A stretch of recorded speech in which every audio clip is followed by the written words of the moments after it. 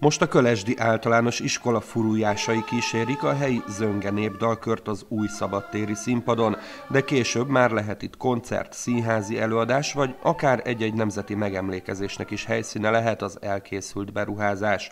Az egykori sajtérlelő épületét alakították át a településen 85 millió forintból. A megyei önkormányzat terület és településfejlesztés operatív programján keresztül támogatta ezt a fejlesztést.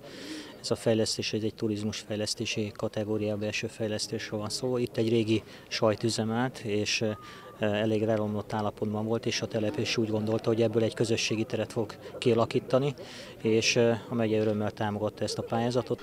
Potápi Árpád János államtitkár, a térség országgyűlési képviselője szerint a közösségépítést és a kulturális élet jobbátételét szolgálja a színpad, de a fejlesztés által a falu és a térség turizmusa is fellendülhet. Készül már az iskolában is a, a felújítás, illetve a Sió csatornának a, a fejlesztése, turisztikai fejlesztése ezt a községet is érinti, ezen kívül pedig Kistormás felé elkészül majd a kerékpárút is. Tehát azért láthatjuk azt, hogy itt is sok minden történt, és még történik a következő években.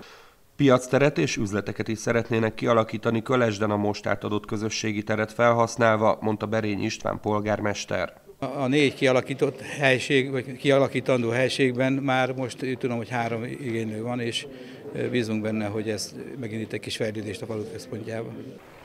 A következő időszakban a Kisvármegye háza is felújításra vár, a költségvetés összeállítása már zajlik Kölesden, várják a pályázat kiírását, és ha sikeresek lesznek, 2019-re ez is elkészülhet.